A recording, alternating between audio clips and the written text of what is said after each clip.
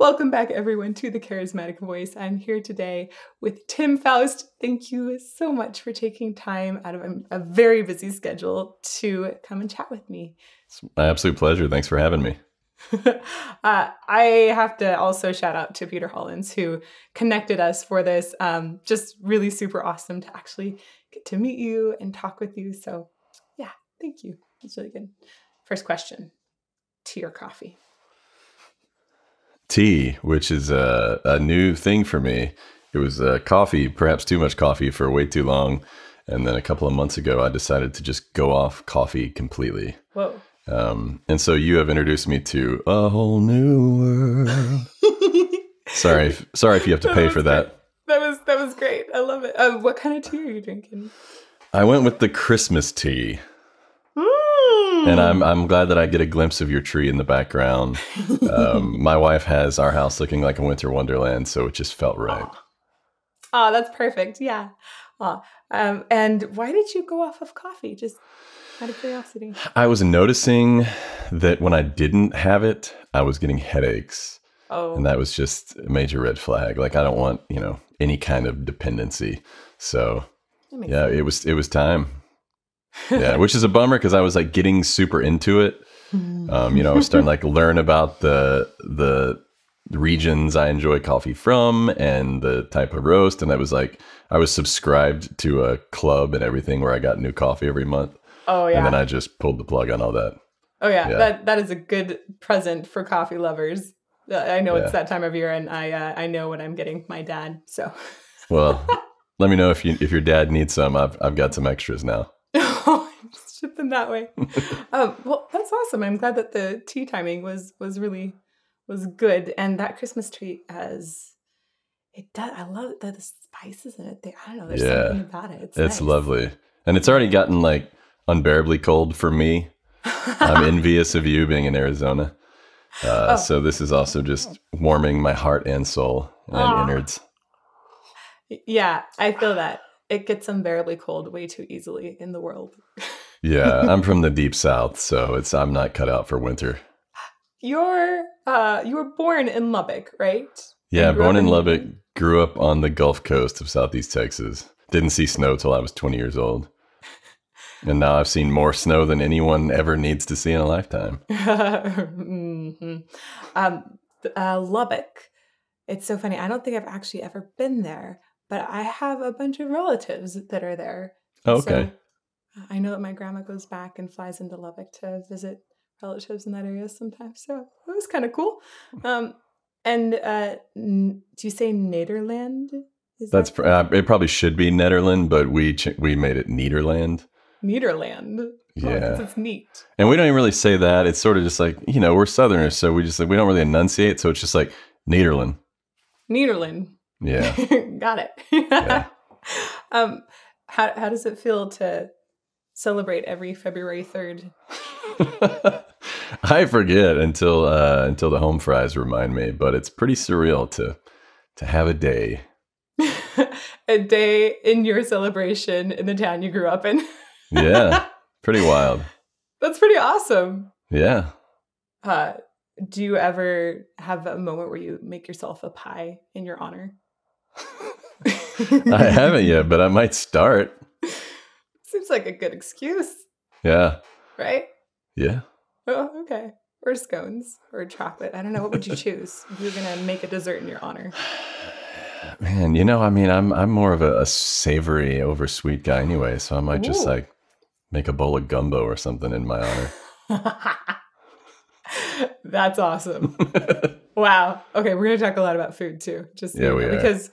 I've I noticed uh, a lot of food love in previous interviews, so don't worry, we'll get there. Um, okay, growing up, you had lots of music at home, right? In school too. What did your mom sing to you?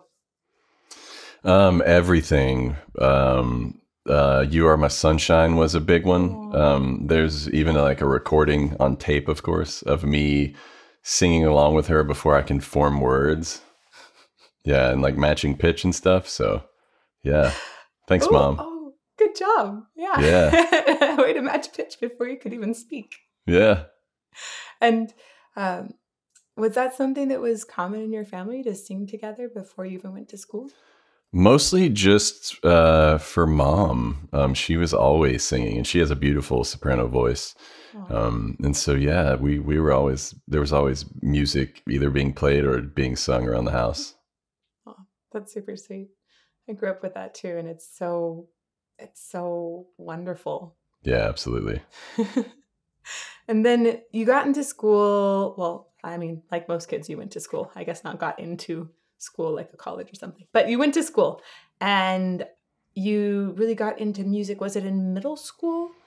You yeah, I mean, really going back as far as elementary school. Oh. Um, I had a music teacher named Miss Dehart, who I'm still close to, and um, she always had me sing a solo in whatever the little you know music productions elementary school kids do.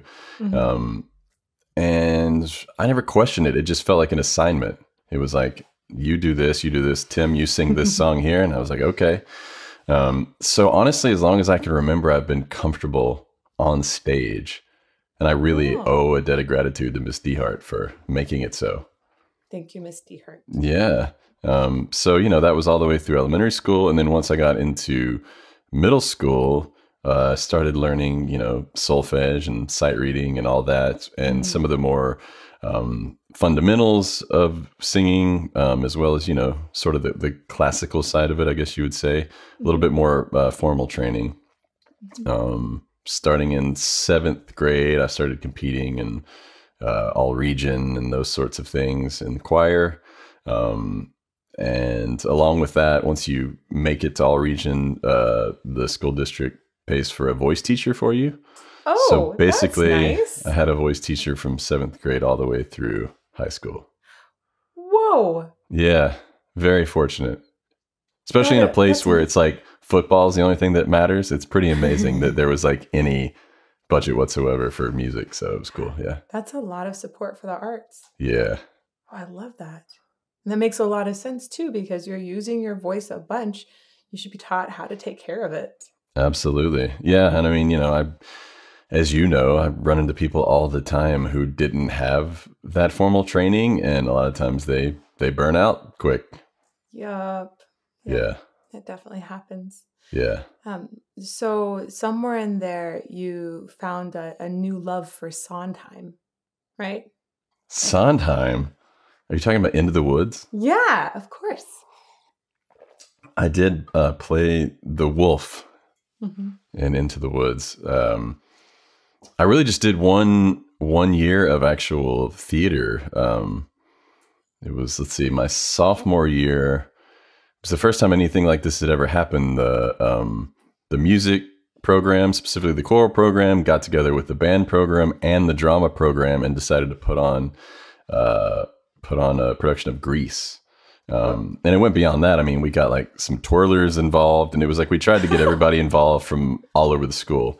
Um, and it was after that that I kind of like had the bug for a little bit more than just singing, um, you know. And then some of the other students were kind of twisting my arm to come be a part of drama.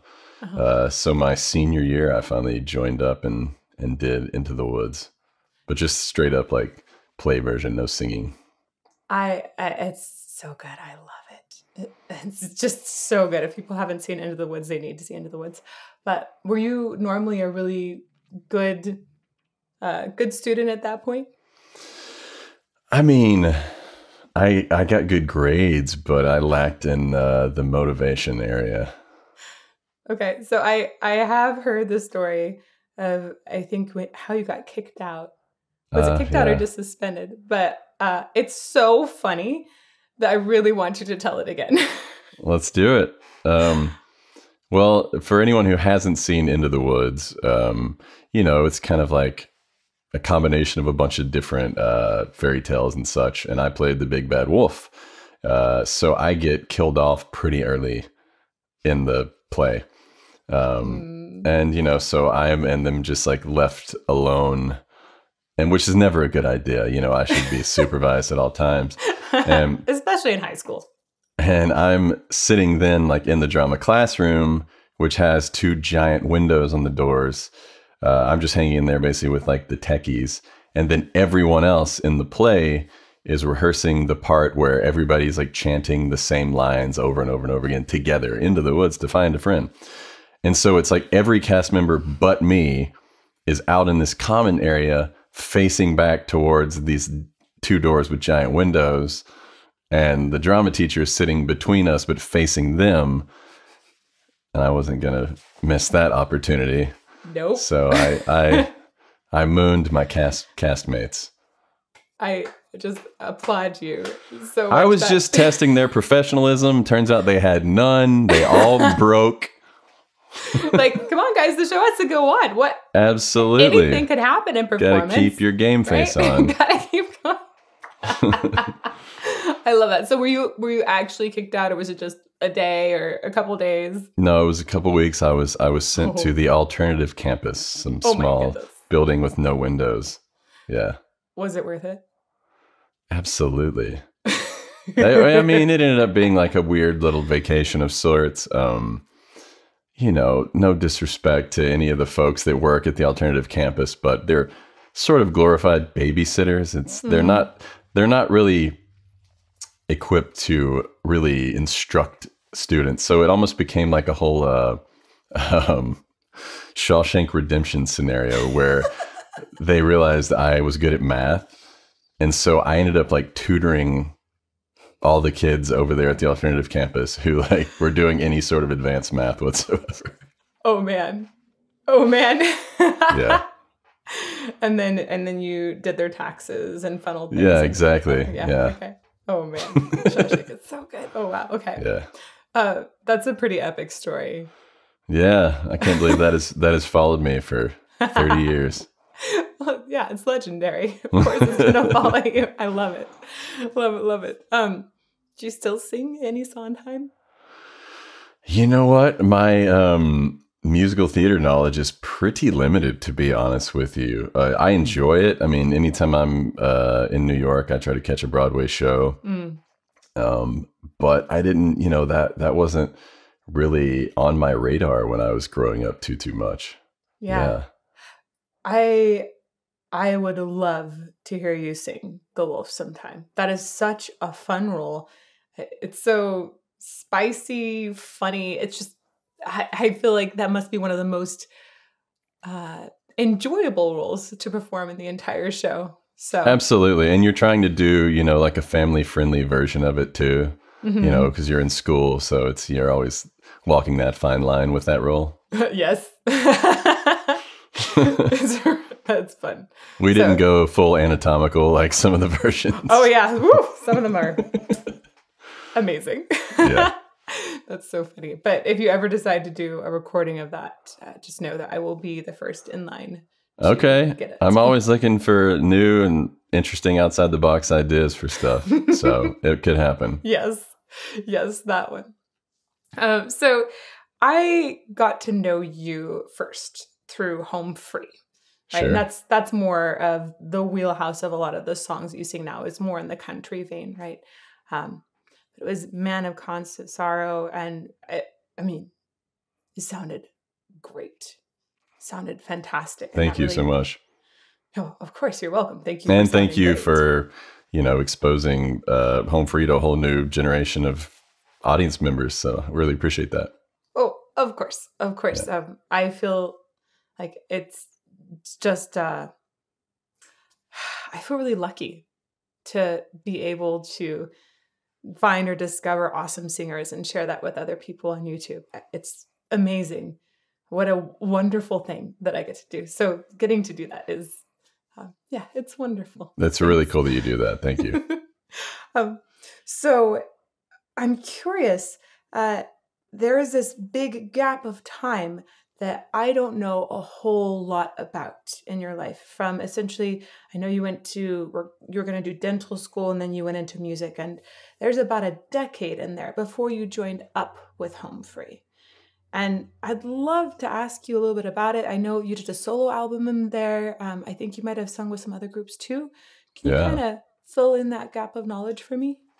Absolutely. Um, yeah, when I graduated high school, um, a, I was a little bit burnt out on music because I'd done it so much. I mean, I'd done anything you could do vocally in high school. Hmm. Um, and then on top of that, I was sort of just ignorant in, uh, as to the opportunities that are out there for vocalists. Um, you know, you have to remember this is like in the early days of the internet. So uh, I think I was still, you know, asking Jeeves things. I don't know if you even remember that at all, but I do. uh, all the kids watching will have to Google "Ask Jeeves." Oh my god! Ironically, but um, you know, there just wasn't a ton of information out there, and you know, I came from a small town. Uh, I thought, you know, you either went on Broadway, you got a record deal, and that was about it. Um, and I also had heard that the music industry industry was scary and fickle.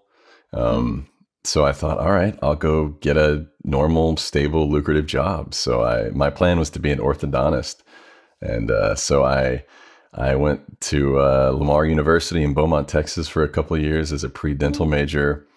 Uh, never found any more ambition or diligence as a student along the way. So a couple years in, I was like, yeah, this is this kind of stinks. Maybe I should look into that music thing. Um, and so I ended up finding some early acapella message boards oh. and uh, and found a group that was starting up in Minnesota. For some reason, acapella groups hate warm weather, except for VoicePlay, and they've already got a great bass. So I keep finding myself in these frigid tundras. Um, Minnesota. Yeah, and it, honestly, that's probably a credit to uh, an incredible group called the Blenders. I don't know if they're on your radar at all. Oh, yeah, um, they are. Uh-huh. But I think they sort of started a bit of the acapella boom in the Midwest. Mm-hmm. Um, and so at the time, it was a group called Blue Jupiter that was forming. Um, it was uh, three guys from Berklee College of Music. They were all graduating, uh, and then me with like, for the most part, not a lot of like real book smarts when it when it comes to music. I mean, apart from like I said, just basic sight reading. Mm-hmm. Um, meanwhile, they're all graduating with music degrees, so they spoke this whole language that was just foreign to me. Mm-hmm. Um, so I had to kind of play catch up quick um, on my music knowledge. Uh, I just had a low voice, thankfully, and they couldn't find anyone that had a low voice. So it's hard to up. find a really good bass. I learned that early on. If you're if you're a, a good bass, you probably won't ever need a gig if you want one. Um, but uh, I moved up there, um, ended up doing that for a couple of years, learned that starting a band is really hard. Yeah. Um, and even though we had a plan in place that was supposed to give us a bit of a head start, um, just learning how to do the thing takes a while, you know, to develop your sound, um, of course, work on stage presence and putting together an actual show and all of those mm-hmm. things just didn't occur to us. So it, it took a long time um, to find find that rhythm. Um, and so yeah, I did that for uh, a couple of years. Uh, we ended up releasing an album called Ear Candy, which to this day I'm super proud of. Um, oh. it kind of made a splash in the acapella world um, you know, suddenly all the acapella enthusiasts like knew who I was because I was this new young bass singer. Um, incidentally, I never pieced these things together, but like my big solo on that album was uh, Little Red Riding Hood.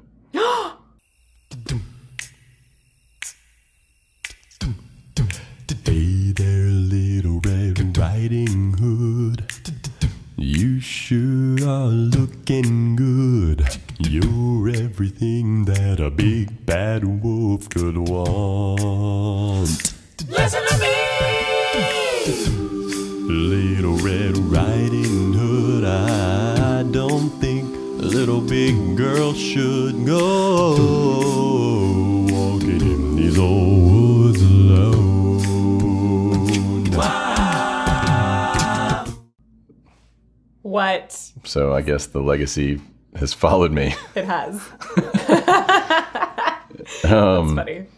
But yeah, you know, so like a year into that, when it wasn't quite taken off the way we had hoped, um, you know, and I'm just like eating into savings, and I mean, honestly, my my poor mother is just funding my little passion project essentially. Mm. Um, I thought, you know what, I'll give this another year.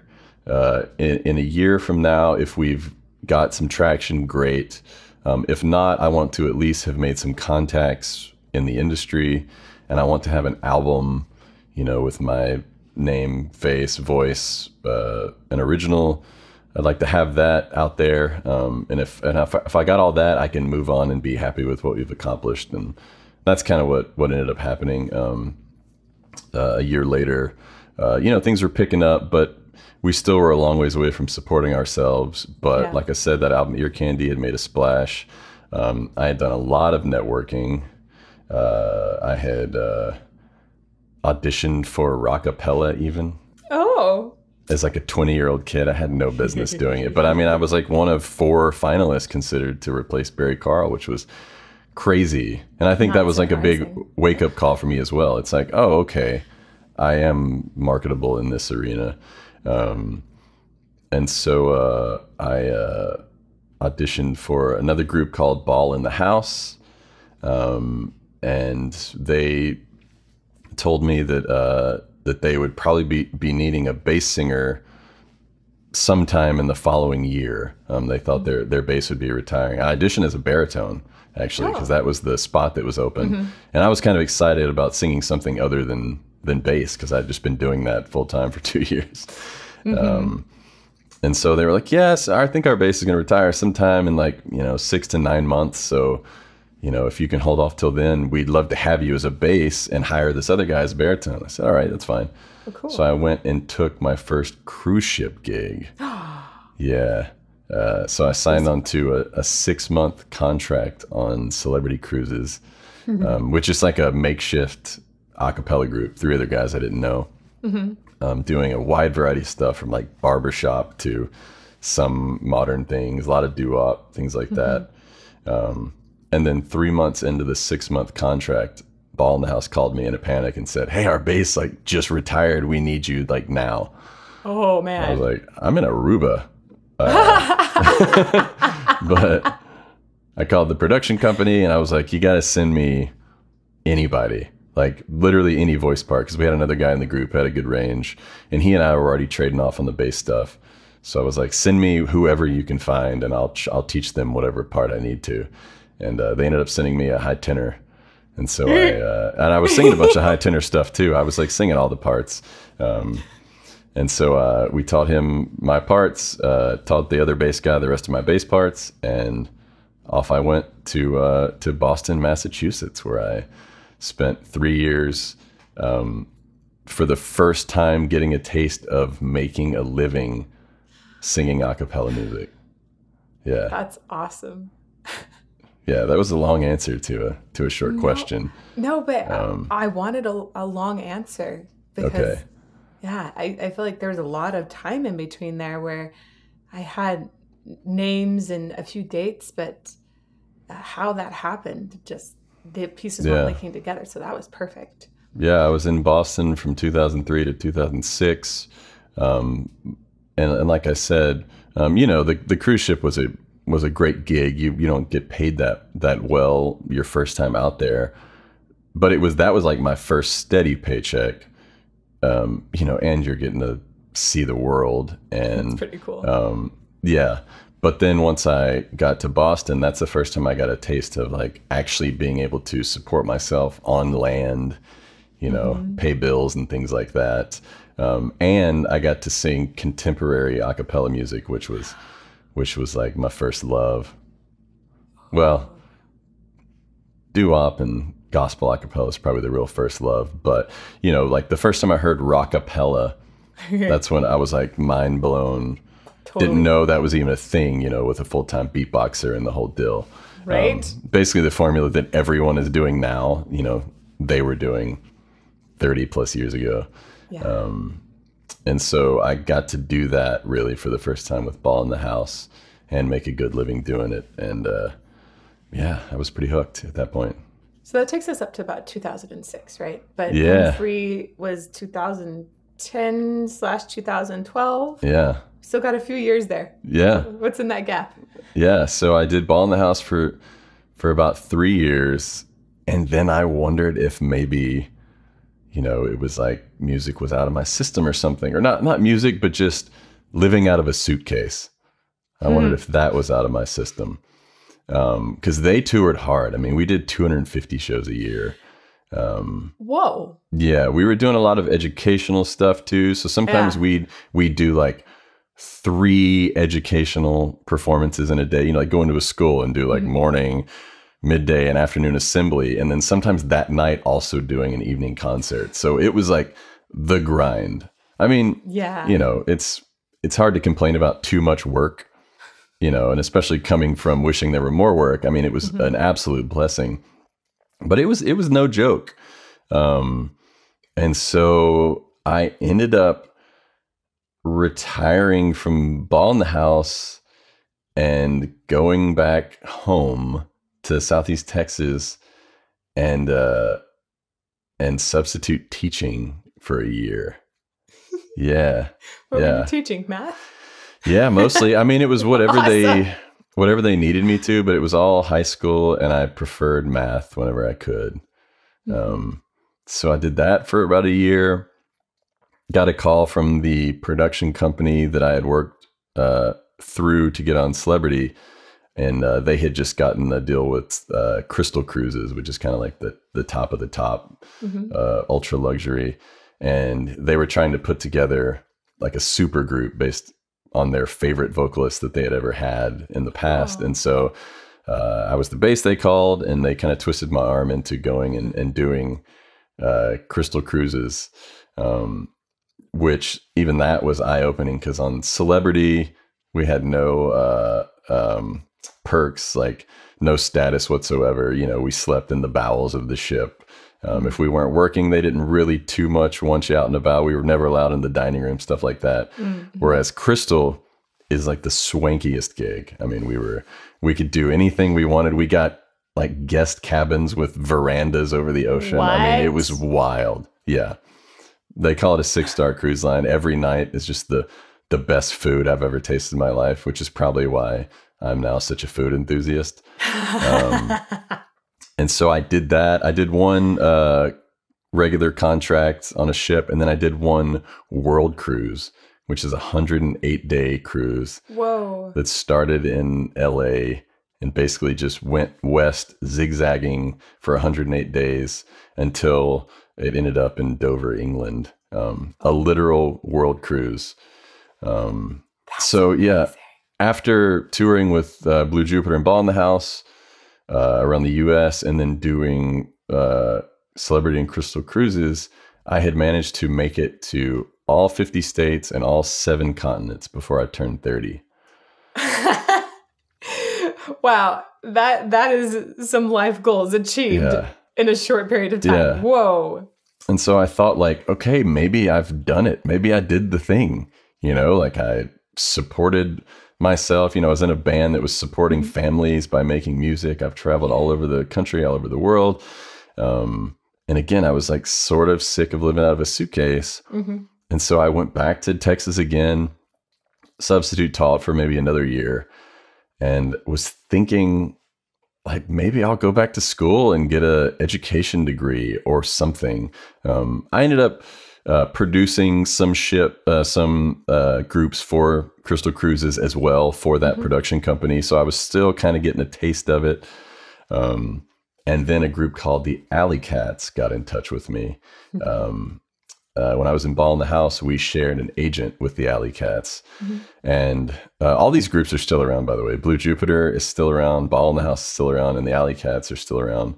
Um, the Alley Cats are interesting in that they have this wide arsenal of talent. They don't necessarily, you know, have a set group of guys that are on the poster. Um, uh-huh. So they'll, they'll just book like three shows on the same day in different parts of the country and then worry about oh. filling it with personnel afterwards. Um, so that keeps it really interesting too, because I've literally met guys moments before we started singing together. Um, if you if you know your part and you kind of generally know how the show goes, and um, it's it's a comedic tribute to the music of the 50s and 60s. Mm-hmm. Um, so that was the first time too kind of getting uh, a taste of not necessarily having a script, kind of having a guide, but those guys are fearless and and um, there's a lot of ad libbing. They call themselves the group that heckles back. Um, so that's when I just learned the joy of just that sort of flexibility and having fun and spontaneity with the audience, um, which is certainly carried over into what I do today. Did you ever find people when you were doing that that you felt just an instant click with? Right, you know, you go out and and like you said, meet them right before you go on stage. Did you ever find uh, someone that you felt like total stranger, but maybe you'd known their voice forever? That your voices just fit together. Absolutely. I would say that the a couple of the guys I sang with on the first Alley Cat gig I ever did, and that was the cool thing about them too, is like it was I didn't have to make any sort of commitment. They would just call and say, mm-hmm. "Hey, we've got these two weeks at the Miami Dade County Fair. Do you want to go do it?" I'm like, "Heck yeah, I want to do it." Um, and that group of guys was so unbelievably talented and overqualified. Um, that I was like, wow, this is really fun. If this is the caliber of singers in the Alley Cats, then yeah, I'll keep I'll keep doing this. Especially because, mm-hmm. like I said, it wasn't it wasn't a commitment. Um, one of them is now the lead singer of a Journey tribute band. Oh, and he's unreal. I mean, he actually sounds like Steve Perry. That's crazy. And that's maybe the most vocally demanding gig I can think of is having to do like 90 minutes of Journey. Um, uh, yeah. But what was so refreshing about them is how they didn't take themselves seriously. You know, uh, all the groups I was coming from, we took ourselves very seriously. I mean, we were passionate about what we were doing, you know, but it was like we were trying to be artists.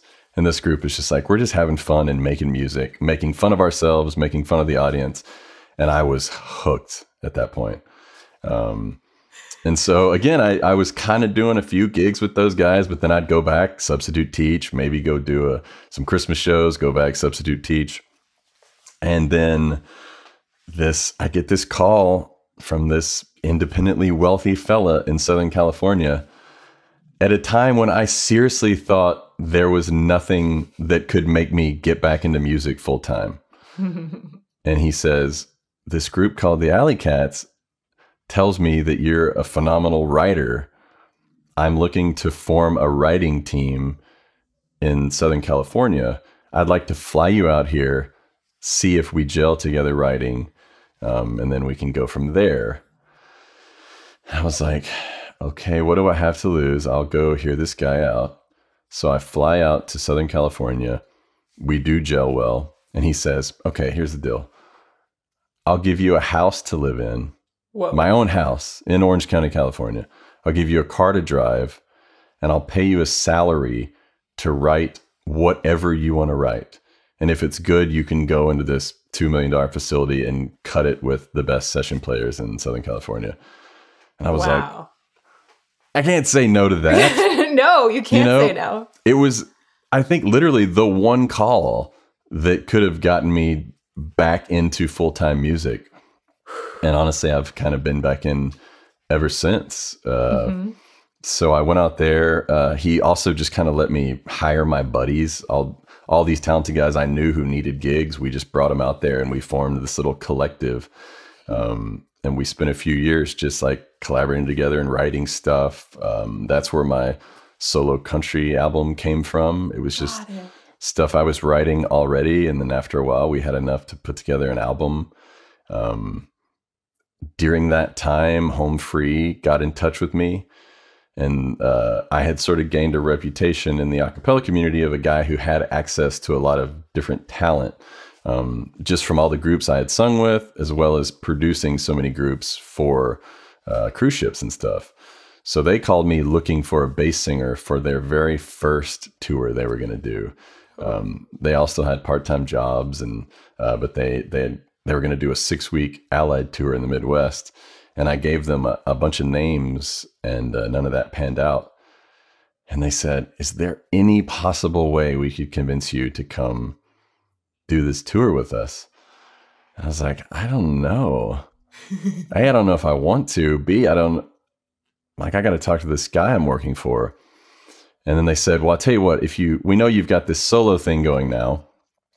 If you come out with this, we will learn one of your songs, perform a Tim Foust original in the show, and promote and let you sell your solo at the time EP on the tour with us.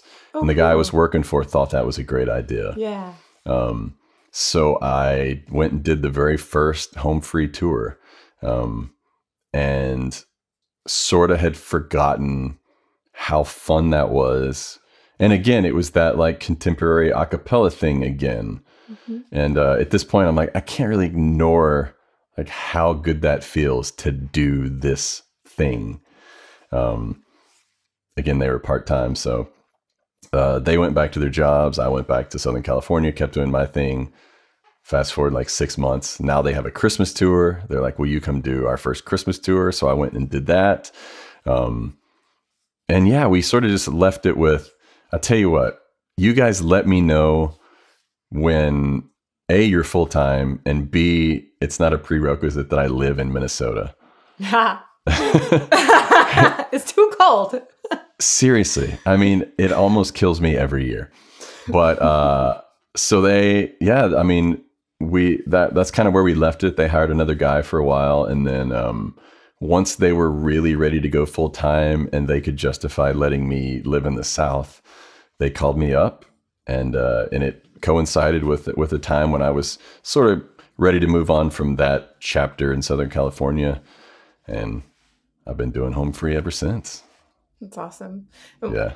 So in Southern California, was that mostly Los Angeles or San Diego or? Uh, right between them, uh, near oh. Anaheim. Oh, got it. Yeah. yeah. So more Orange County. Got it. Yeah. Yeah. Um, Irvine. Uh, yeah, yeah, very close to Irvine.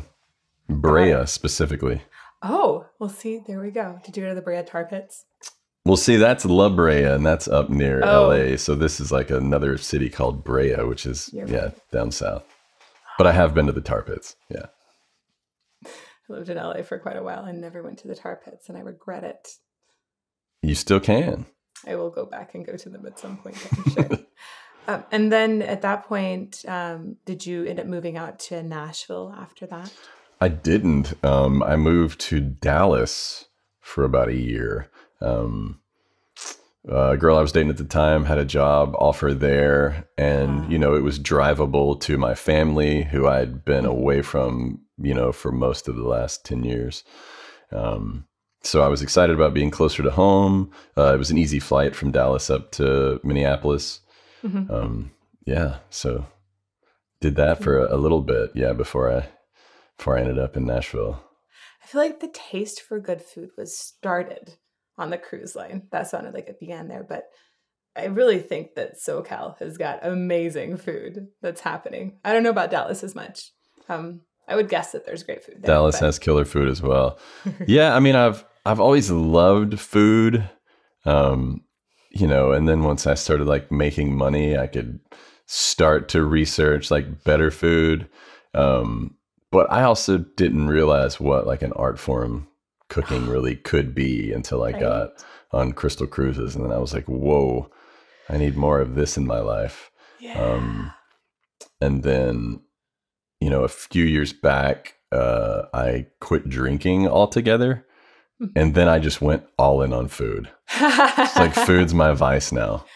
That's amazing. Yeah. so you you mentioned in another interview that you just love Food Network. If you had a different career in life would be hosting a show, I think, on Food Network. Was that? I would love that. Yeah. Right? Um, so I had, I uh, was chatting with a, a friend of ours, Gavin, and my husband. All three of us love Chopped. And we came up with a really fun question for you.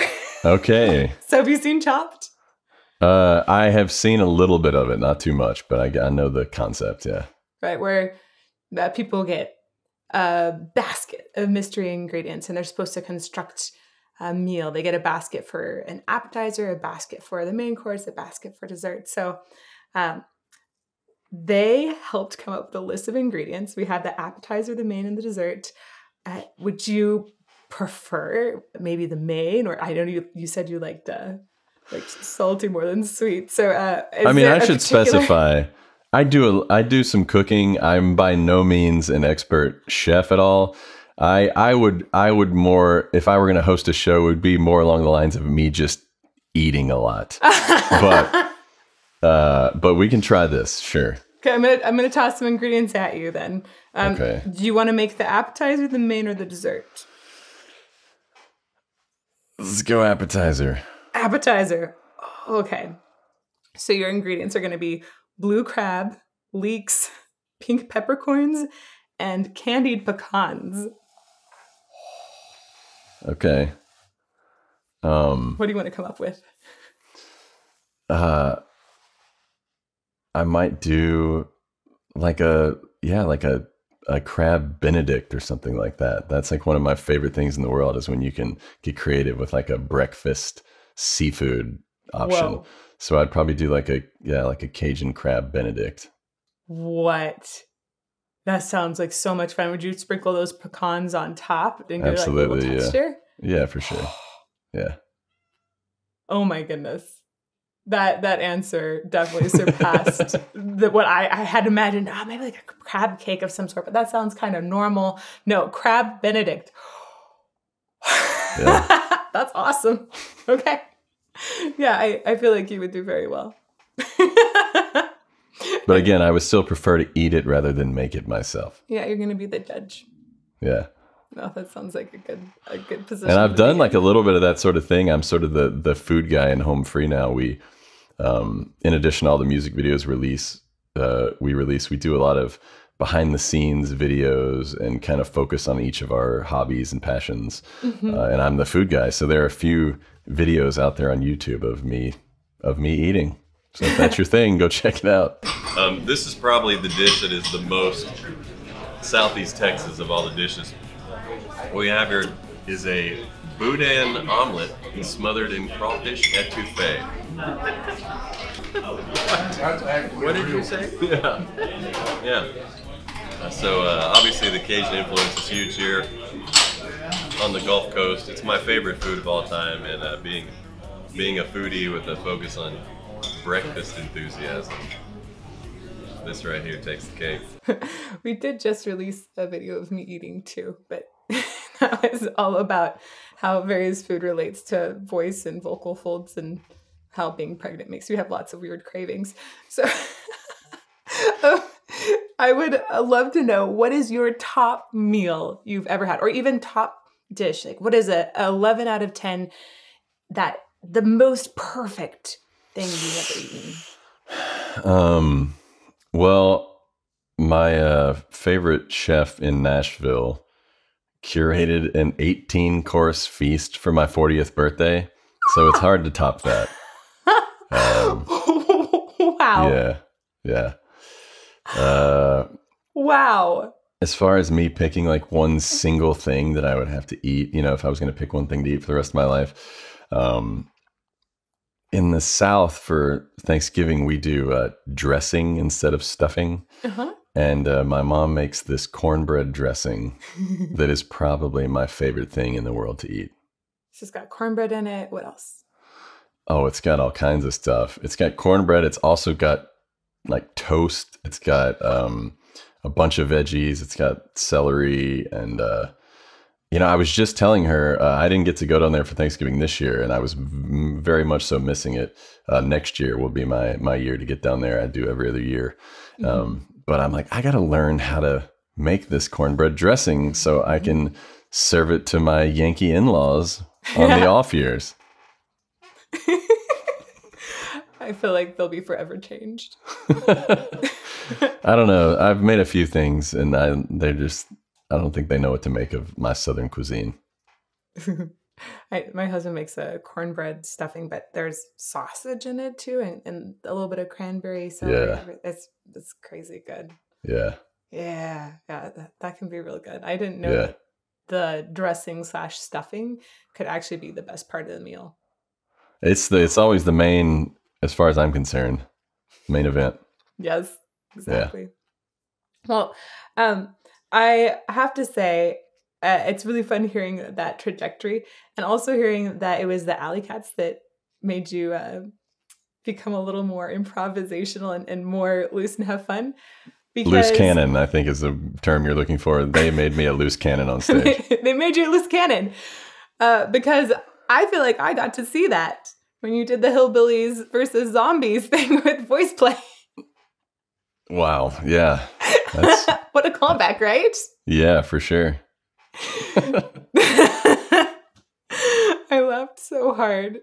I laughed so very hard. Uh, can we expect another collaboration with VoicePlay sometime? It certainly could happen. I mean, in the home free world, um, these days we try to stay in the country lane mm-hmm. as much as possible. Um, you know, we've got a big team of people around us, and they're big on sticking to a vision.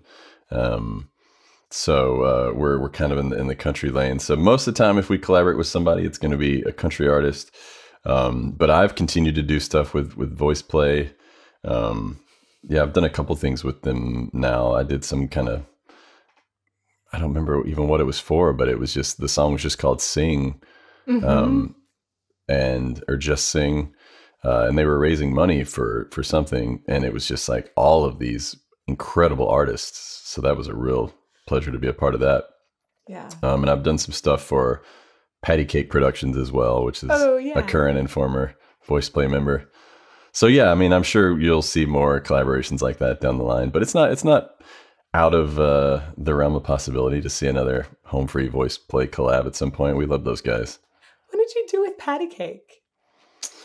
Um, uh, it was like a, it was like a villains, Disney villains, villains like cover thing. so they were like, "Hey, can you do a really hillbilly version of of a Disney villain song?" And I'm like, "Absolutely." yeah. Check. Yeah. awesome. yeah, I really dig what they do too. Did uh did Jeff tell you the origin of the zombies versus hillbillies, how that came about? I've heard a little bit of it, um, also from Lane, but uh, sure. I would love it expanded upon. So that came out of the sing off. Um, we were on season four, the sing off with voice play, and every week, uh, everybody would have to arrange a version of some pop song uh, to use as the battle song in the event that you were in the bottom two. And so, uh, like, fortunately for us, we were we were never in the bottom two, but every week we were still like arranging these songs, and then they would pair you with every single group, and you would rehearse like what your battle would look like. Um, and so one week, theoretically, if we were in the bottom two, it was going to be Survivor, and uh, and we had so much fun with that VoicePlay pairing that after the show, we were like, we got to bring that back. And then yeah. they came up with the with the concept of zombies versus hillbillies. I'm not gonna stop. I'm gonna work harder. I'm a survivor. I'm gonna make it. I will survive.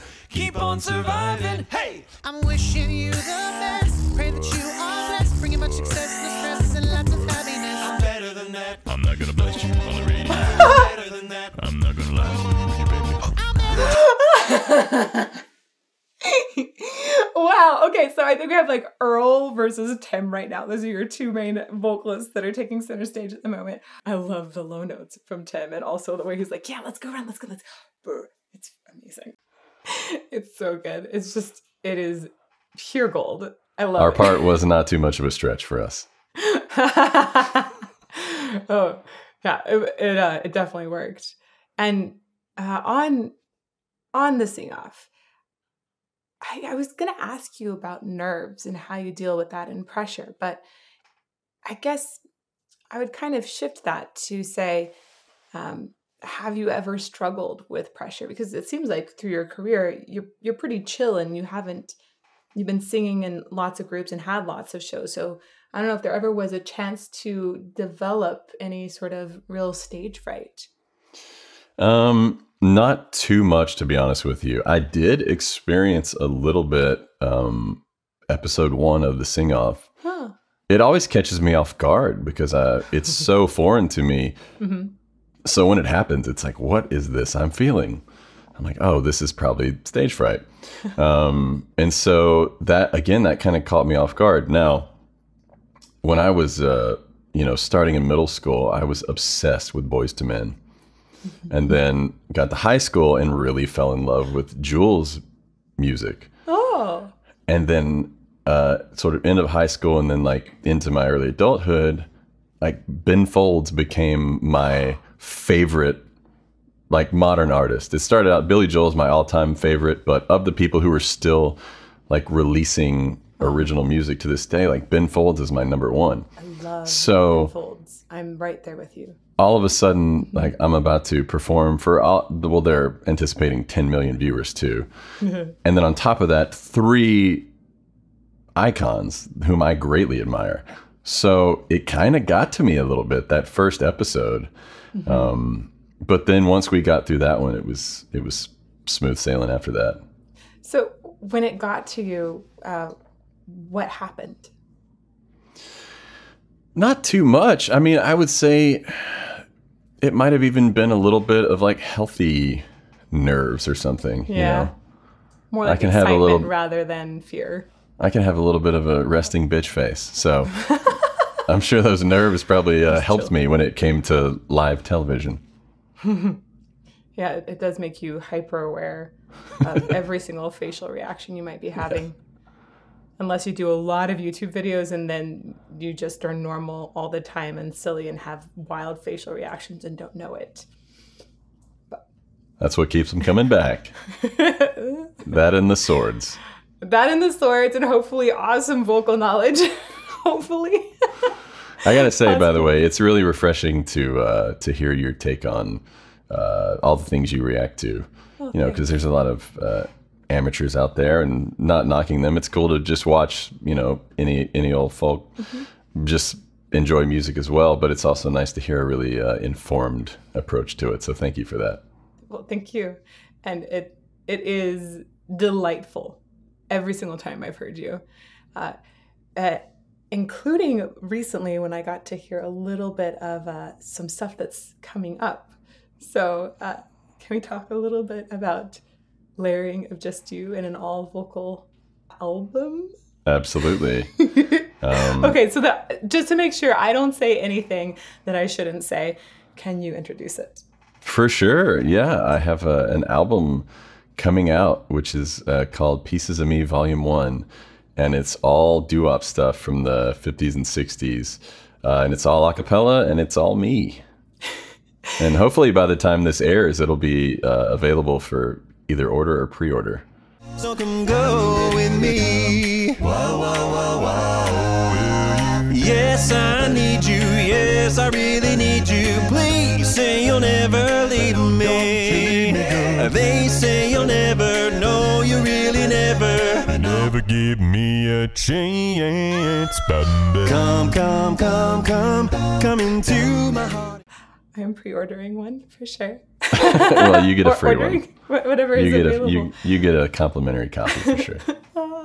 Well, I'll order an extra one and send it to my mom. Okay, we'll do Absolutely. that Absolutely, Yeah. Um, and it was so fun to hear this because I know you've done layering of your voice and and various things before, but hearing just you on all of the parts, it was so cool to hear that entire range explored and in several songs and with different kinds of, of timbres and, and fun approaches. It was just it was really fun. So can I ask you a couple things about your technique? Um, Yeah. especially, I mean, you're, you're going to find out real quick how technically ignorant I am, but let's try this. well, there's but there are some things you do that I, I wonder, yeah, it's always curious to me. Some people are naturally talented, but when you've been doing it for so long and so reliably, there's often a sensation or something that you hook into, right? Where you say, that's when I know that it's good. So um, let's just talk about low notes first, right? Sure. That's one of the things that is, I think, one of the most attractive things immediately for most people about your voice is when you drop into this big boomy low. People love it. I get a little goofy when I hear it because I think it's really fun. so, what does the best kind of low note feel like to you? Um, wow. Um, I don't know as far as just like when I'm recording now, you know, there's a, there's a certain, you know, range that when you do it live and with the right sound system in the right hall, you know, when it rattles the audience as well as you on stage, there's something uh, special about that for sure. Right. When it's a little bit seismic, then that, then that's good.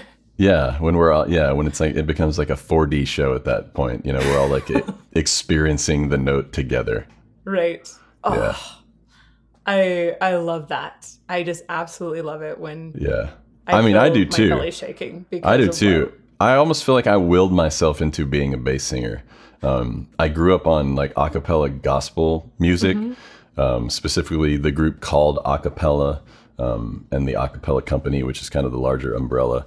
Um, my mom and aunt played me a lot of that stuff, and then my grandma played me Southern gospel. And both of those genres have just the freakiest low basses that, fortunately for me, very few people know about. Everyone thinks like I'm this anomaly.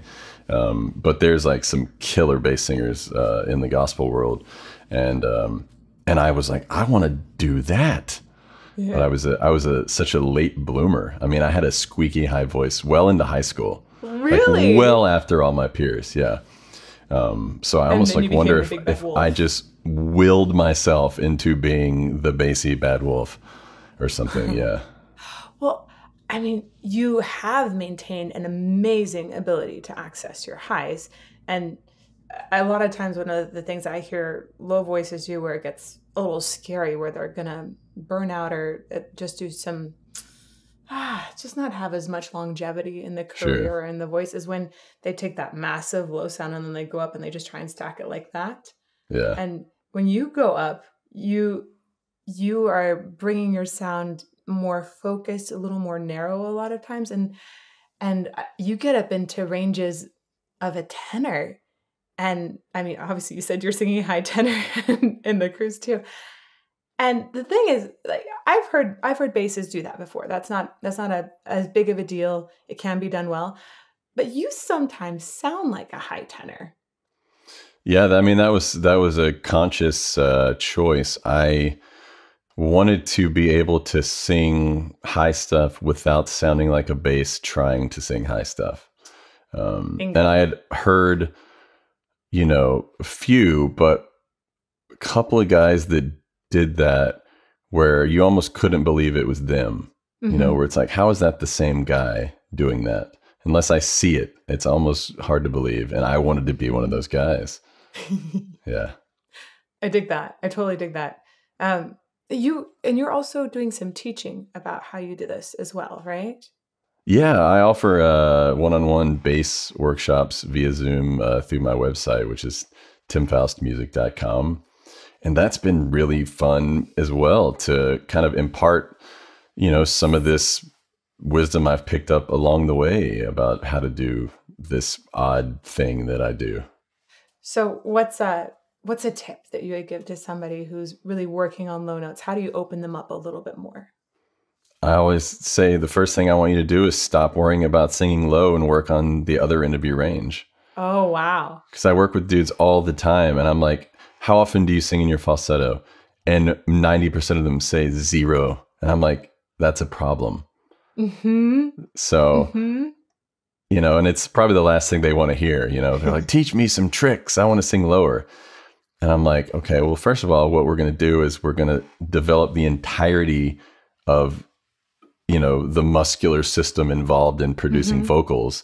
You know, I always um, compare it to uh, like skipping leg day in the gym. You know, it's like, you, same with your voice. Like you don't want to be like, you know, just jacked up top with chicken legs. Well, you got to do that with your with your voice as well. You got to work out the entirety of your voice yeah. um, and make sure that it's evenly equipped. Um, so I always tell them, I'm like, listen, you gotta like go listen to Frankie Valli and the Four Seasons or listen to the Beach Boys and just start singing along with those guys that live in their falsetto. Um, and then once that is like, once you feel comfortable doing that, then we can start talking about the other stuff. That's a really, really fun suggestion too. And um, for guys that have problems accessing that falsetto at first, any any tips for how to find the right sound? Not really, because I mean, if you're a true bass or even a true baritone, you should physiologically have the ability to access your falsetto. Now, mm-hmm. whether or not you have cultivated that at all is a is another story. Um, but you should be able to do it. You may not like how it sounds at first, um, but you just do it. You just got to do it until you get out of your own head about how it sounds. Um, yeah. That's that's super good advice. I think when I've worked with guys trying to develop a falsetto, the thing that makes them go away from it the most is that they don't think it's real singing. Sure. Right. And and so they'll sort of flinch back and say, wait, that was that was okay. And I go, Yes, develop yeah. it. Widen yeah. it. and yeah, you might have to squawk at first. That's fine. Like, yeah. you know, wait till you're in the shower or if you're alone in your car. And if you have to squawk, squawk. But um, eventually it'll start feeling more natural and you'll you should be able to start lightening up and have a more airy, pleasant tone up there. Make weird noises. Yeah. That's so it's like most of these guys already have like the bottom somewhat cultivated. I'm like, all right, now I want you to cultivate this part and then we will meet in the middle. Yeah. Yeah. Yeah. yeah. That's good. What yeah. about breath? Do you do you think much about your breath? Only when I'm like performing at altitude. And then and that does like sneak up on us sometimes. Yeah. You know, like you'll be halfway through the first song and you're like, what is going on? Oh, that's right. We're in Denver. Wow. Okay. I've got to be more conscious about this. Right. Yeah. I, I know sometimes the um, stages will have oxygen on the side in places with high altitude. Have you ever encountered not, that? Not yet, but that's a wonderful idea. It's, um, it's nice. You know, that or when I'm, you know, doing something in the studio that, that requires like a really long, soft note or something. Mm. And then I will realize, like, okay, I've been slipping a little bit. I got to get back in shape here. Mm-hmm. Yeah.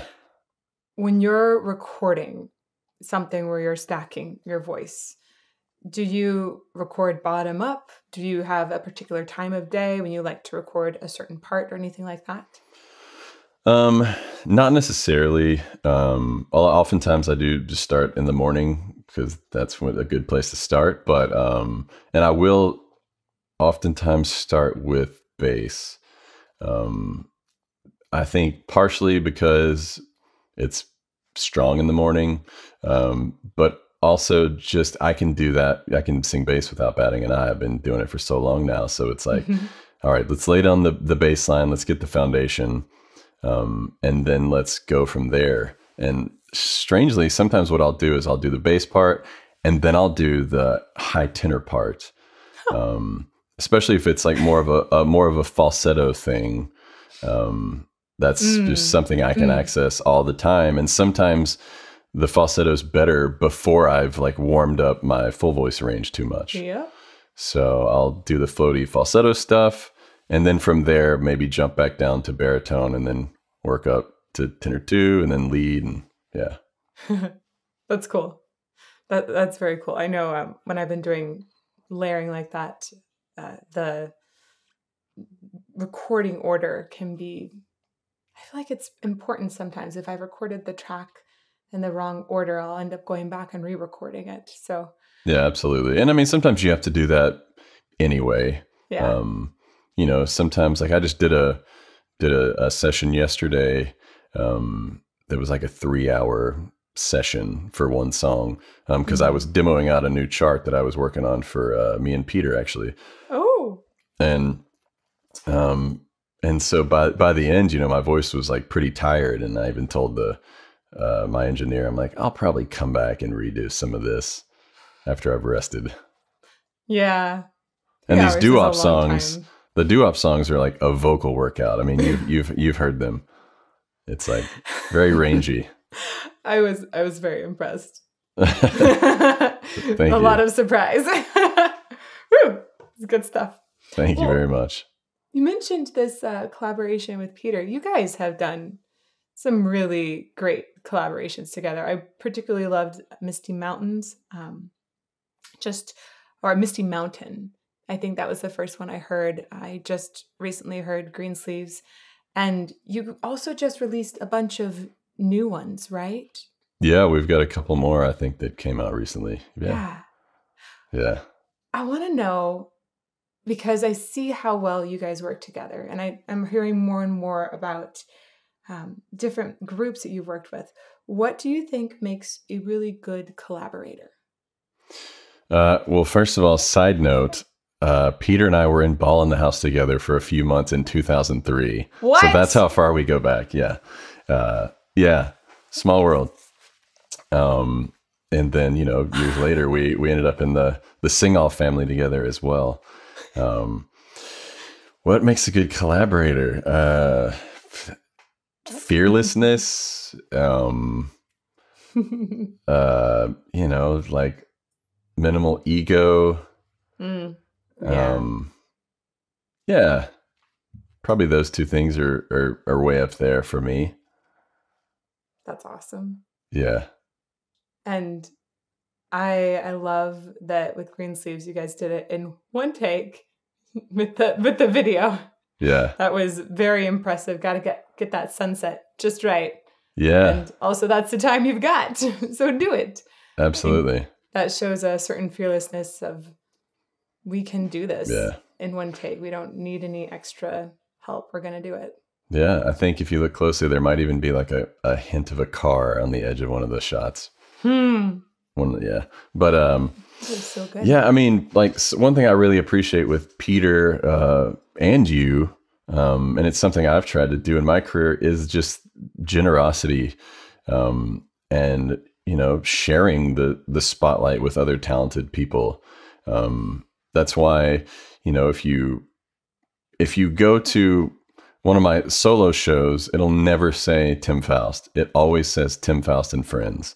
If you go to my Patreon campaign, it says Tim Foust and Friends are creating things mm-hmm. because I know so many incredibly talented people that more people should know about.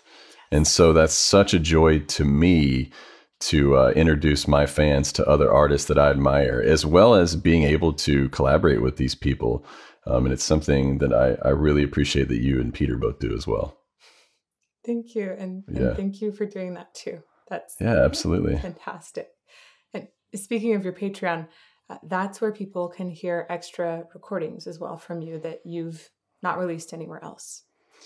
Yeah, that's very true. Um, I've been doing it since just a couple of months into the pandemic. So I guess we're at like a year and a half now um, of me releasing on average two projects a month.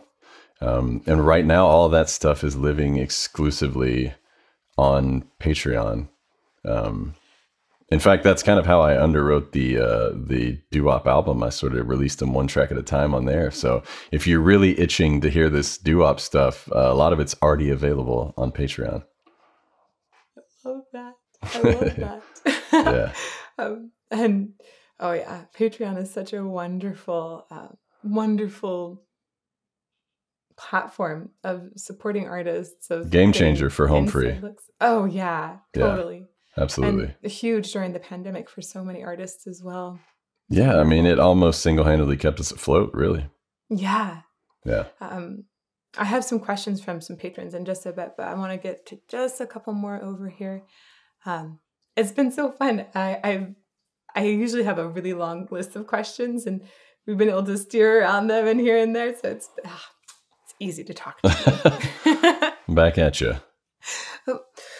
So uh, I wanted to know a little bit about um, the recording process for Home Yeah. Free. You were saying you're in different cities, and I know, I- believe that each of you has a custom modeling mic, right? Yeah. This guy right here, the Slate modeling mic. Oh, uh, which is which is new, which is new to us. Um, whenever the pandemic hit, the first thing uh, we wanted to figure out was how we could continue to make music for people.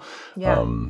because a we have this really, as you now know, this really rabid fan base, um, and uh, you know they they had been so good to us on Patreon um, for so many years that we wanted to continue giving them stuff. Um, you know, and so many people needed a distraction from 2020 too. Um, so we really leaned on our producer Darren Rust, who is uh, one fourth of the Blenders as well, and is the uh, main arranger for Home Free these days. He's an absolute genius. Um, the honorary sixth member of Home Free. In fact, after this, I'll send you some of the demos that he's done for us because he's also a freak and has a giant range. And when he arranges something for us, he s- records all the parts and then sends Oh them to us. And some of those are honestly better than our version when we get done. so I'll send you wow. some of some of his stuff, but um, more people need to know about about Darren Rust. He's the best arranger I know, one of the best vocalists I know, mix engineer, master. I mean, he just like does it all. Uh, wow. and he's available. So check out skylandstudio.com. You won't be sorry. I'm gonna um, look him up. But we uh, we asked him, we're like, okay, what what do we how do we figure out how to record from our houses? Mm-hmm. Um, and so he said, first of all, I want you guys all to get a slate modeling mic. I want you to get an Apollo Twin, uh, which is the audio interface we use. Yeah, got that right there. Um, and then we got a couple of uh, uh, types of software. One is Splashtop, which allows him to control our computers, and then Source Connect, which allows us to actually um, speak back and forth from his studio to our studio. And by studio, I mean this bedroom I'm in right now. um, and so we all got that stuff. Now, um, Rob, Adam does his beatboxing from home already. Rob still goes over to Darren's studio to record because they live about mm-hmm. 10 minutes away from each other. Yeah. Um, and Darren has a, an incredible studio in the basement of his house in, in Lakeville, Minnesota. Nice. um, but Austin, Chance, and I all got this this remote setup. And it's wonderful for someone like me who knows almost as little as possible about the recording process because um, I just turn on my computer and make sure the internet's working well, and then it starts moving on its own magically. Uh, and then I go into a closet that I've retrofitted to be, you know, an ISO booth, mm-hmm. and Darren starts talking to me through here, and I talk to him through here, and it's not dissimilar from being in a studio. We'll probably never go back to booking recording studios because it doesn't doesn't make sense anymore. You know, they're expensive. We don't really need them. And again, how we do this now is so similar to how we do it in studios. You know, Darren's usually in the you know the console room anyway and we're usually in an isolation booth. Sometimes you can see him sometimes you can't but most of uh you know most every interaction happens back and forth between the microphone and the headphones anyway. Mm-hmm. so that's how it's working now. It's just now i can do it in my underwear. It's wonderful. right. hey pj's time. Yeah we never need to record in jeans again. never. No. I love that. I love that aspect of being able to record at home. I also yeah. find great joy in being able to roll out of bed and go sing the lowest notes I'm going to have all day long. it's just I know all, I know all about that. oh, that's so cool. And uh, as far as timing things, you don't have to deal with any sort of lag or anything like that. No, I mean every once in a while you'll get a little bit of that, but at this point in time, um, you know we've we've got a year and a half of troubleshooting now, and we've mm-hmm. all upgraded our our Wi-Fi, um, so we've got it really smoothed out now. Um, sometimes if you've been doing a long section, I'll notice that his talkback will get a little choppy, uh-huh. um, and then we'll just disconnect, reconnect, and it's like new again. Oh, that's awesome. It's really wonderful, yeah. Okay, that they answered so many questions for me about how you're handling the tech shift, and uh, really exciting. Also, Slate is that's such a cool microphone. It's incredible, and I again I know so little about it, but all the gearheads I know are so jazzed about this thing. Uh, yep. Darren is just ecstatic about it. We've been using it for a couple of years now, and it's still he still gets excited about it. You know, when he mm-hmm. throws a new modeling software on there, and it sounds like his dream mic, he just gets giddy. yeah. Yes, exactly. Exactly. Oh, that's cool.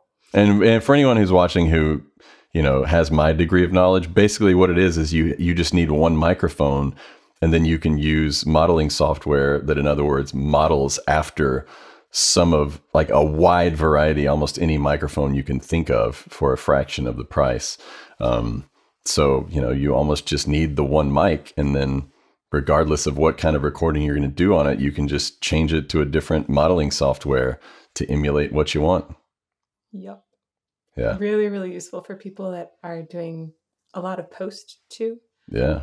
On their sound and aren't quite sure what kind of mic sound they would like to use. Yeah. And I think he even uses different types of mics, uh, you know, across the various like doo-wop stuff I do.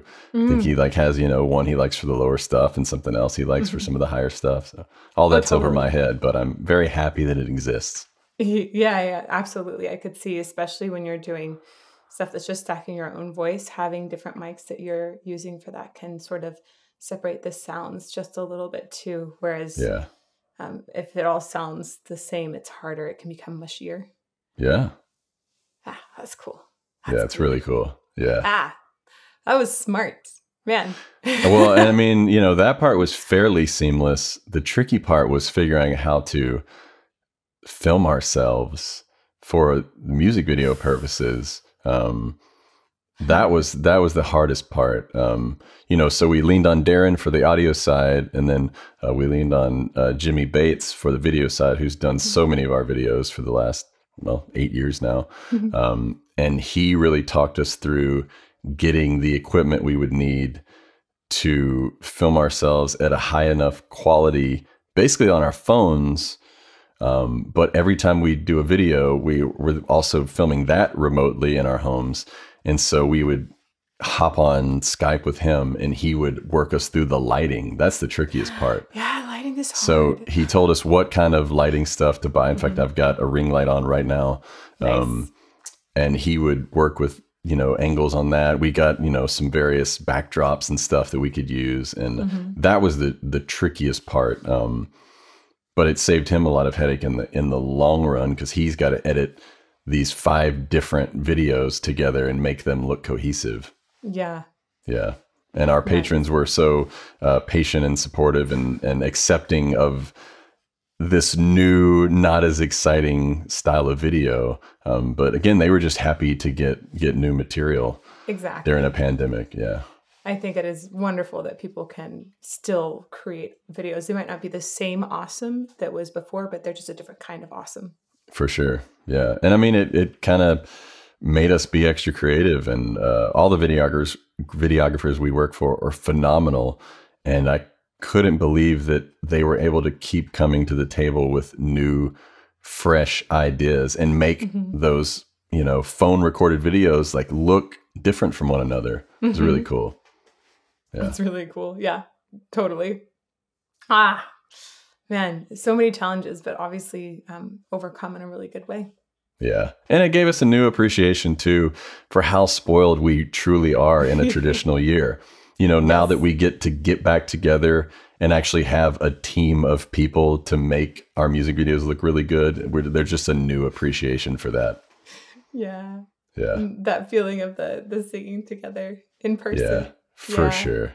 It's it's special. It is. Yeah. well, I have a few Patreon questions here that I'd like right. to ask. Uh, I told you we have some some big fans. So Stan Johnston wants to know what is your favorite holiday tradition that comes from Jenica's side of the family that you've incorporated into their holiday tradition at the Foust Marion household?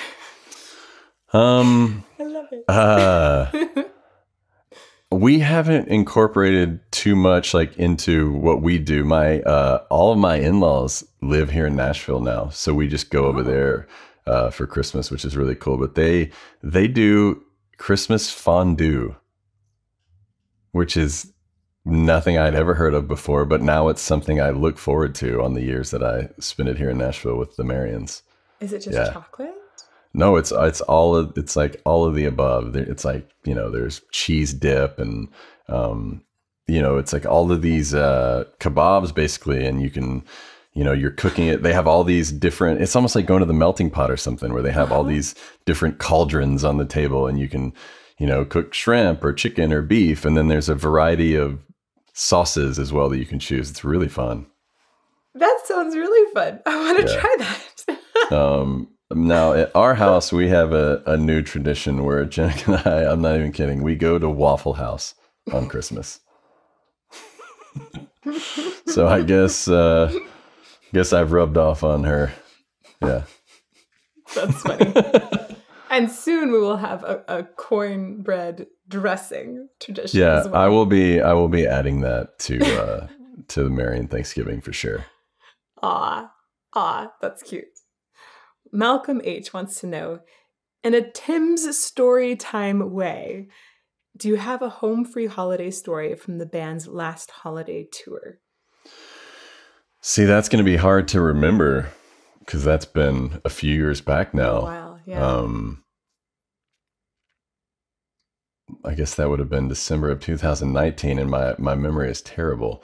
Um, I mean, honestly, what what comes to mind is not uh, is not the most recent one, but the very first Christmas tour I did with those guys. Because Mhm. again, remember that I'm from Southeast Texas. I didn't see snow till I was 20, and then at this point, I'm also living in Orange County, California, where it's Yeah. just perfect year round. All year round. Uh huh. hmm Meanwhile, I have agreed to do a Christmas tour in the Midwest. So I end up in, uh, I think it was Grand Forks, North Dakota. It's either Grand Forks or Dickinson, North Dakota. It was one of those two cities. Um, and I'm wearing cowboy boots like an idiot. not not a lot of not a lot of tread on the bottom. Uh, and at the time, we toured in a conversion van and pulled a trailer that was way too big for that vehicle, uh, and all of that got stuck on the ice. Oh. And so I get out to go help try to push it off. And I do like a cartoon style, like feet come out from under me, like a slow motion one of these. You know, it's like all of a sudden you see the stars, and then I just landed on my back on ice. And I thought, I've made a huge mistake. that was good. I, yeah, Yeah. I, I used to do a lot of swing dancing, and you know, there's the, like flips and things in there. And I remember doing a particular aerial where my partner was wearing cowboy boots at the time, and partway through it, he the cowboy boots they don't have a tread, right? And he slipped, Yeah. and and uh and I remember landing uh I think it was my fingernail or something that cut my chin open. Ah. All right, and and yeah, yeah. yeah. Cowboy Folks, boots are slippery. this is a PSA, okay? If you're going to be swing dancing or doing anything on ice, don't don't wear cowboy boots. no cowboy boots. That's fun. Dwayne Towns wants to know. Oh, this this is such an interesting question that I didn't get into because I wanted his to to get into it anyhow.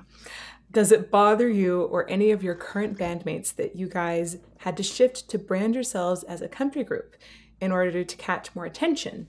And is there any desire to drift back away from the category now that you've achieved those goals?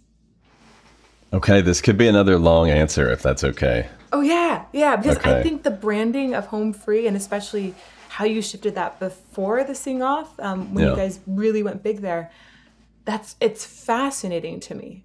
So yes. Okay. So let's back up all the way to uh, when I'm in Southern California. So probably like 2008 or something like that. Um, what I didn't touch on earlier was that uh, I was mostly focused on writing pop music, like organic piano based pop music. Oh. Um, uh, I grew up on a mixture of oldies and gospel and country, obviously in Southeast Texas. Um, and you know, I was singing Garth Brooks for the talent shows and the whole thing. I mean, I like country was in my bones. I absolutely loved it. But then there came a time in my formative years where I sort of viewed that as like my parents' music, you know, uh, and what they didn't listen to at all was pop music. So I was like, okay, here's this new to me style of music that can be my music. And so there was a stretch of time there where I thought I wanted nothing to do with country music. Whoa. Yeah. I did not see Um, that coming. Yeah. And so uh, I, uh, when I first started writing and recording out in uh, LA, it was more, more uh, pop stuff. And then one day, the guy I worked for, he came in and he said, uh, "I have struck up a deal with song pluggers in Nashville, so I pretty much need you to start exclusively writing country music." Whoa. and I was not excited about this at all. Um, again, no disrespect to country music and country music fans. Like I absolutely love country music. I it it was one of my first loves, and I have fallen in love with it all over again. But there was a stretch of time there where I thought I didn't want anything to do with it, and so when I learned about this, I was not happy. I, to be honest with you, I, I went home and drank an entire bottle of Jack Daniels, and then and then wrote the most redneck song I could possibly think of. Which was? My thought at the time was, you know, after I write this almost a caricature of a country song, just writing a, a normal contemporary or pop country song after this won't feel so bad. to this day, it is my most popular original. Oh no! and it's one of Home Free's most popular originals because we ended up doing a version of it later, and it's called Champagne Taste on a Beer Budget. yeah. Well, my throat dried up and my heart just sunk as she motioned me over and popped the trunk, and I tried to ignore her absent-minded smile. And boy, I was greeted by quite the crew. There's Louis Vuitton and some Jimmy Choo, and that was just the fellas who were sitting on top of the pile. I said, baby, there's a Walmart a block away, and I don't think they sell these brands. Now I'm heading to the poorhouse or heading to jail, and if I end up there, I ain't making bail, and if it goes to court, I sure don't have a case. Cause I ran out of money some time ago, but if you look at my wife, you'd never know. I'm afraid my baby's got champagne taste on a beer budget. Yeah. So, so I I ended up writing country music for about a year or so, and uh, I was singing the demos. And the guy that I was working for was like, "You're really good at this. Like, why don't you be a country artist?" And I was like, "Cause I have no interest in doing that. That's why." So we went back and forth for a few months, and then one day he comes in and he just says, "I've decided I'm not going to pay you anymore unless you be a country artist." Wow. And I was like, okay, I guess I'm a country artist now. um, and so we kind of polished up some of the songs I had already been writing. And then I spent the next few months writing the second half of this now, knowing it was going to be a country project. Um, and so even the, you know, some of the fans have that early EP and they can hear early versions of these songs that were already a little leaning country, let's be honest. I mean, it's like what I'm most suited to do but the, I just hadn't committed to it yet. Uh-huh. Uh, and then they then you get the second version on my album, The Best That I Can Do, which is also available at timfoustmusic.com. And then three of those songs even ended up on the album Crazy Life by Home Free, the first album we released after the sing off. Um, but it's just so funny because there were so many signs along the way telling me I should be making country music. And I was so resistant to that for whatever reason.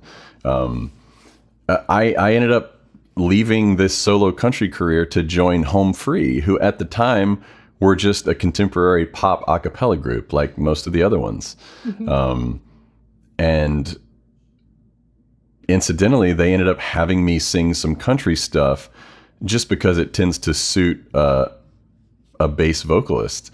Um, and so we weren't even connecting the dots that every time we did a country song as home free, it got the biggest reaction. Yeah, we just, mm-hmm. I don't know, we were just doing our thing and being ignorant. So uh, we did a, a version of, well, let's see. So let's let's fast forward to Austin joins the group, and he mm-hmm. is country as cornbread. Oh, so oh yeah. when he, this is not even an exaggeration. When he first joined the group, he's from Georgia and uh, I think there's also something about like the uh, the lower frequencies of my voice that sort of help to drown out the southern drawl a little bit. But something about a a, a country tenor, I mean, it's just there's no avoiding that. So oh. so he would when he first got in the group, he would say things, and the rest of Home Free would all turn and look at me, and I would translate. That's a hundred percent true story. That happened for months, months but uh, and so uh, once. so again, Home Free was already doing some country stuff, mm-hmm. just because a it lends itself so well to acapella. There's a lot of harmony that's tend to built into country stuff.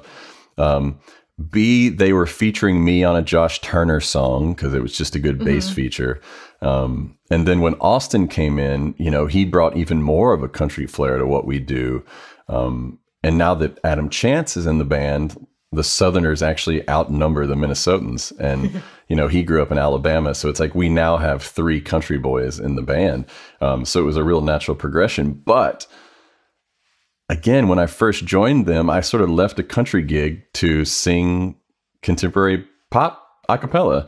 Um, but we went on, we went to audition for the sing off. It was Home Free's fourth attempt. Um, they had auditioned every year. They had made it to the next to last round. They had signed all the paperwork. They just never got onto the actual show.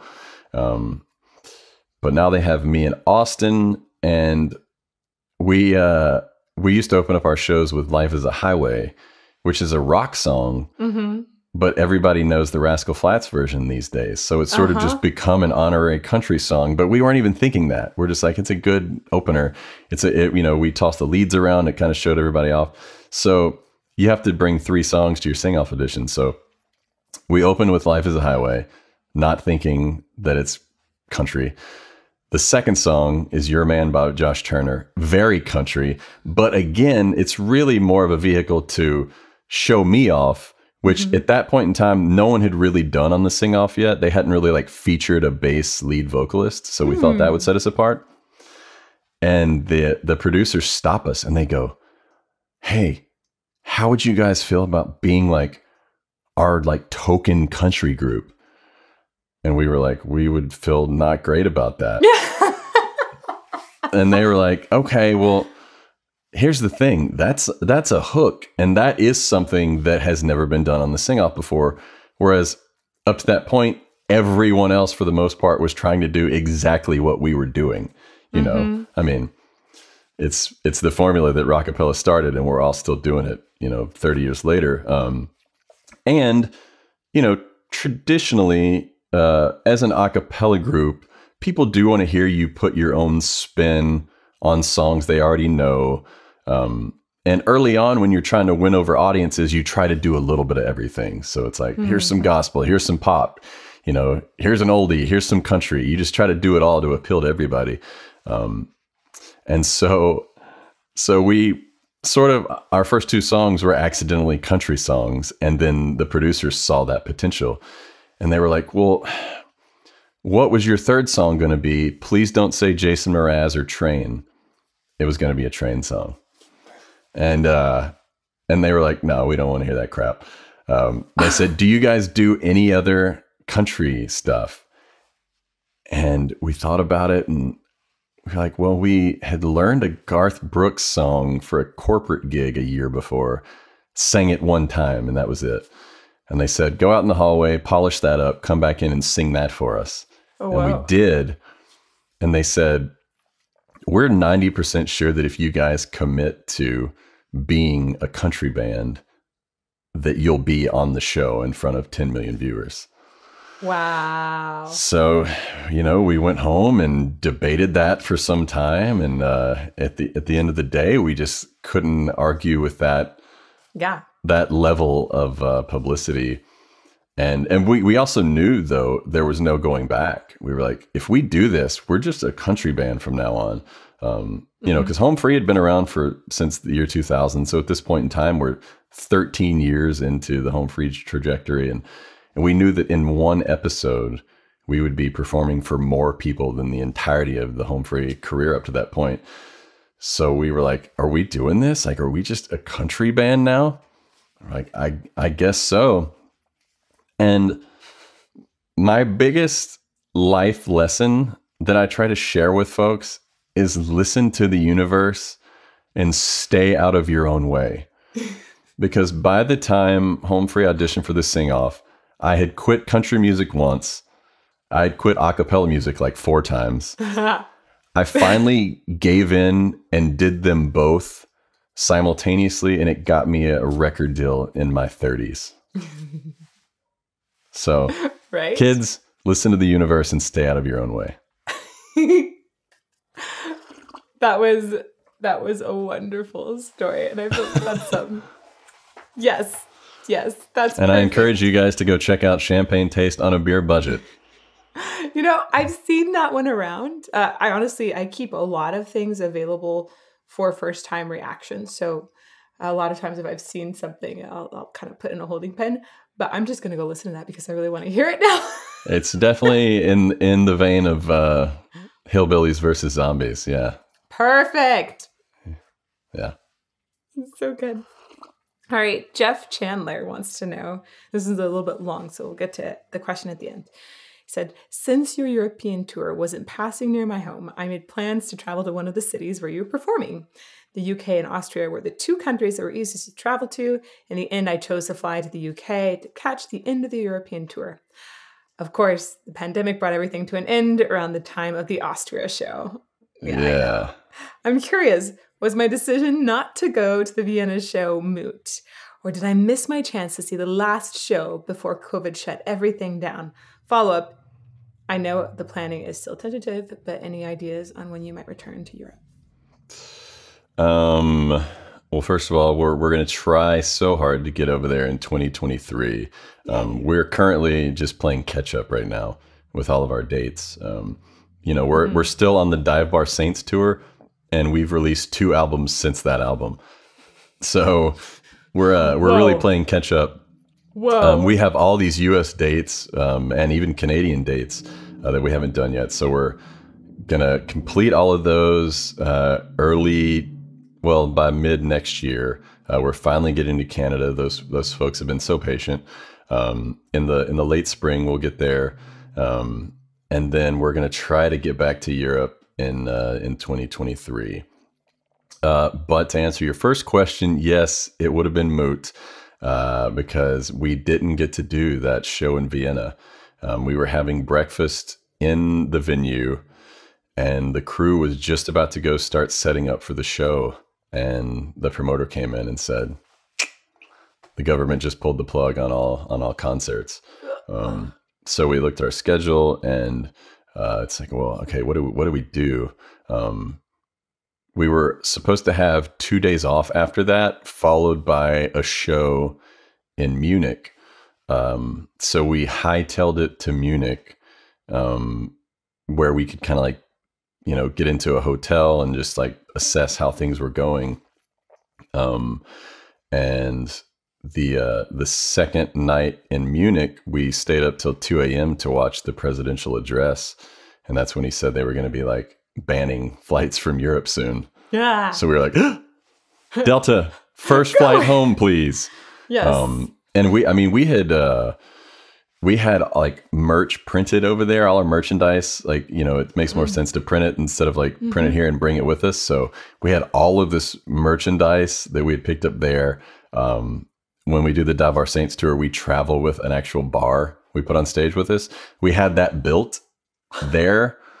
Um, so we had just nice. and and uh, just some uh, equipment and stuff that we had rented for the tour, uh-huh. and we had to figure out what to do with that at oh. 3 a.m.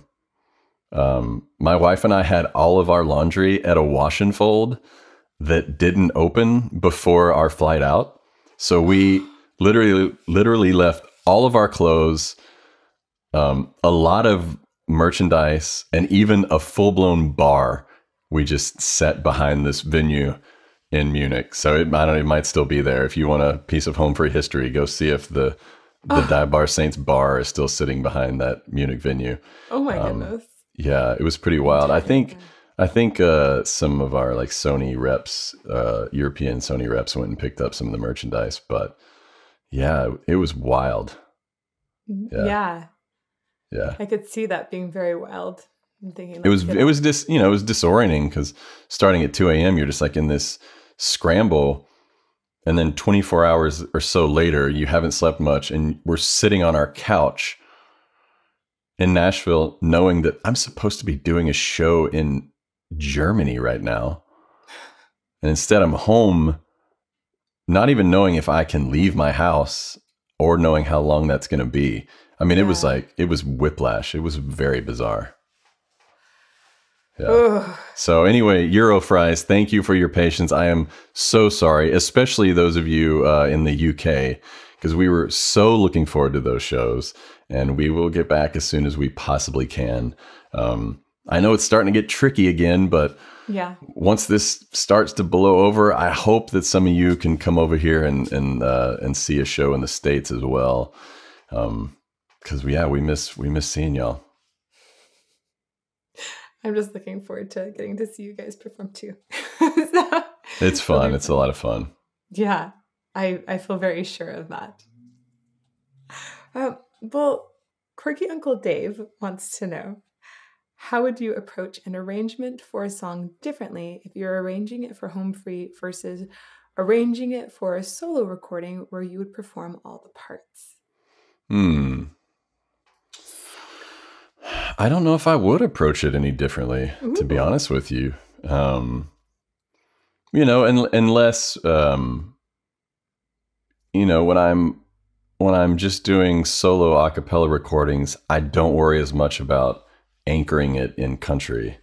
Um, hmm. You know, for example, you know, I've I've got this whole album of doo-wop stuff coming yeah. out, and you know, I didn't really put much twang on the lead vocals or anything. You know, I kind of just just sang like you would when you're singing doo-wop. Um, so there's certain things you know you do to anchor it in country. Mostly, it's just uh, it's mostly when you're a cappella, it's mostly about how you sing the leads. Some of the bass lines, you know, might be a little more doom, doom, doom, that kind of thing, you know, if you're doing country. Um, but that that's about it. But but for the most part, I don't think I would do it any differently. Do you do beatbox too? A little bit, yeah, yeah. Oh, cool. Yeah. Cool, cool. I thought I heard I heard a little bit, but I don't think I heard um I heard as much. So when you're sending, if you're arranging something for home free, do you just send uh, some skeleton or uh, skeleton beatboxing, or how would you do that?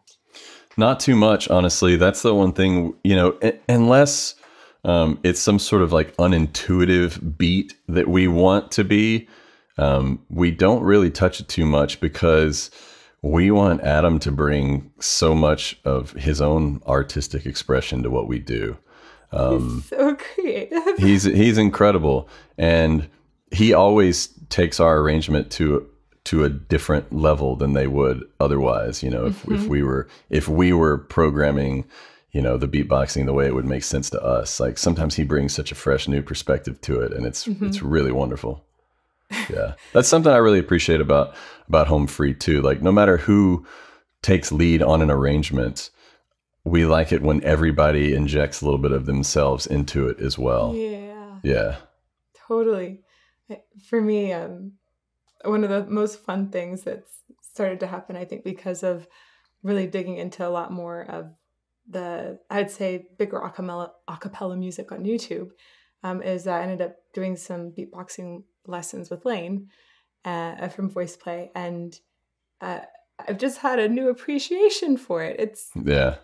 Uh, I I think I didn't know how to distinguish between what's good or what's what's not as good before, and um, hearing some of the totally wacko sounds um, that Adam can come up with or Lane can come up with. It's it's so much fun to hear these just yeah, it's incredible, and it, you know that is part of what makes what VoicePlay does uniquely mm-hmm. VoicePlay, and what we do uniquely home free because they yes. they bring their own flair to it. Totally, yeah, different yeah. styles and, and fun. Ah, I mean, you know, for. Pete's sake, we ended up doing like reggae Johnny Cash, you know. and yes. so much of that is a is a credit to Adam Rupp. Um, yeah, when when we were kind of woodshedding that arrangement, that's an arrangement I had done for us on the Sing-Off. Oh. Um, and interestingly enough, most of the the background parts didn't change. I had already kind of arranged it that way, almost like poppier than anything. Um, mm-hmm. And then uh, Deke Sharon came in and was like, "All right, let's see like what what more we can do to this to really like put a unique stamp on it." And we just started playing with different rhythms. And uh, as soon as mm-hmm. Adam threw like a reggae beat. We were like, whoa, I think that might be it. it's one of those things where you're swinging for the fences. Like people are either going to dig it or they're going to really hate it. yeah. Yeah. That was the Ring of Fire one, right? Yeah. Yeah. yeah. That, uh, but that was such a turning point for us, yeah, like artistically on the show. Um, for sure that's that's kind of like when we really felt the tide was turning and it's like wow we could win this thing um, mm. but when you take a big risk like that and it pays off um, it's really rewarding and also gives you a sense of uh, more artistic license moving forward um, to experiment with some of these like iconic songs. Yeah. Yeah. Yeah, it's fun. I really like it when there's a twist like that too. Yeah. Yes. All right. Last question from a patron here is from Melanie Thomas. She wants to know there are a number of videos on YouTube comparing you with Avi Kaplan, Geoff Castellucci, and other bass singers. Is there any friendly rivalry between you all? Would you ever work together to produce a song as a bass supergroup? I think it could happen. Um, there's not much of a rivalry. You know, like some of the fans want that. The Sing-Off definitely wanted that. And it's just, that's not really the nature of a cappella music. Um, mm-hmm. I think because it already is so like familial, you know, just when you've got five vocalists already coming together to create music, um, you know, it's it's already got such a, a sense of collaboration that that just extends to other groups and singers as well. Like we all just want to see each other do really well, and we are fans of each other. Um, so no, it's not really a rivalry. And yes, uh, I think something could happen at some point. I've already got an idea that I would like to. I would like to see like an all bass uh, super group for at least like one track. I've got I've got an idea that will probably come to fruition at some point. I that would be huge. Yeah. yes. That's super super awesome to think about. Especially when I think about like how much the room would shake. yeah. And it'd be fun for me again to introduce uh, some of these bass enthusiasts to probably some names they've never heard before that are, you know, could make me sound like a alto. I'd like to hear that. Yeah. That's super fun. Well, um, thank you so much for answering so many questions. I want to know how we as a community here on the charismatic voice all of all of our subscribers fans how can we support you the most? Is it uh, buying your merch? Is it joining your patreon? Is it uh, listening to your songs on youtube or spotify? You know what it's I feel like people often want to support artists, but they maybe aren't always aware of which avenue is the best way to support an artist. So tell us how. For me, these days, I would say the best way would be Patreon. Um, I assume most of your viewers are familiar with that, but if you're not, that's p a t r e o n dot com slash Tim Foust Music.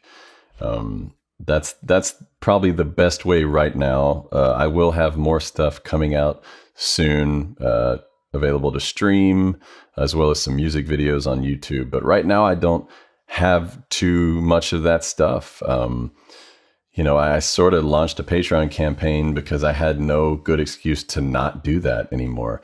You know, I suddenly had all this time on my hands.